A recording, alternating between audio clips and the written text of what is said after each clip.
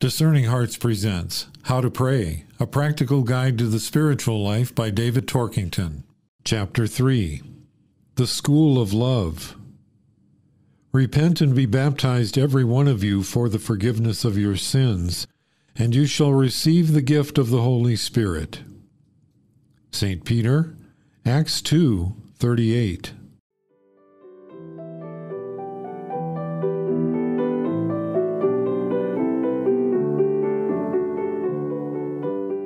Beings are made of body and spirit, so when they love, their loving is both spiritual and physical at one and the same time.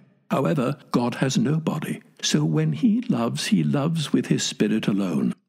As a mark of reverence, therefore, his love has traditionally been called the Holy Spirit. The spiritual life is the expression used to describe a new way of life, organized by someone who wants to start turning towards God regularly to receive His love or His Holy Spirit. First and foremost, this means building a prayer life that leads through meditation to contemplation, where a person is more open to receiving God's love than ever before.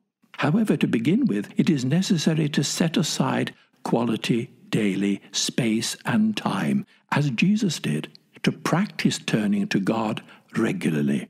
Most people give up before they've even started because they think that distractions make prayer impossible. The truth is, we would never learn to pray without them. Each time we turn away from a distraction to turn back to God, we perform an act of selflessness.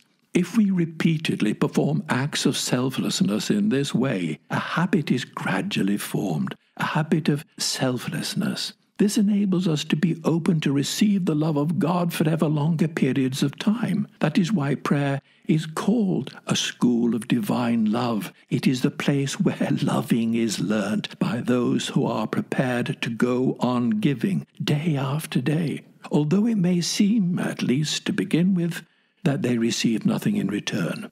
The word repentance is used in the scriptures to describe the act of turning back to God despite the distractions that try to turn our attention elsewhere. That is why Jesus continually called people to repent and to repent continually, so that they could be continually open to receive the self same love that he received. Prayer, then, is a school that specializes in teaching the selflessness that enables a person to love God in such a way that his love can be received in return. The more selflessness is learned in this way, then the more a person is able to experience the love that they receive. And it is this love that gradually transforms them, making them more and more lovable, not only to God, but also to everyone else.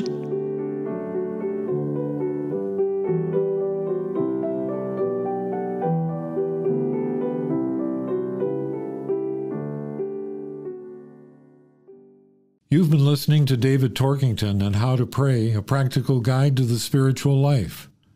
For more episodes in this series, visit discerninghearts.com or you can find it in our free Discerning Hearts app or on many other streaming platforms.